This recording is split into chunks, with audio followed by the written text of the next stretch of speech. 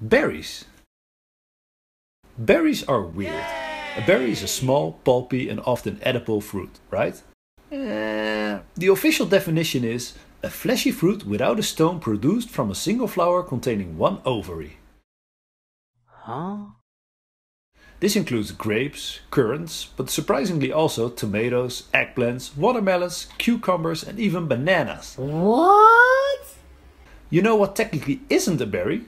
Strawberries and raspberries. Huh? Strawberries and raspberries grow from the receptacle, the part holding the ovaries. They have multiple seeds on the outside of the fruit, causing them not to be classified as berries. And now you know.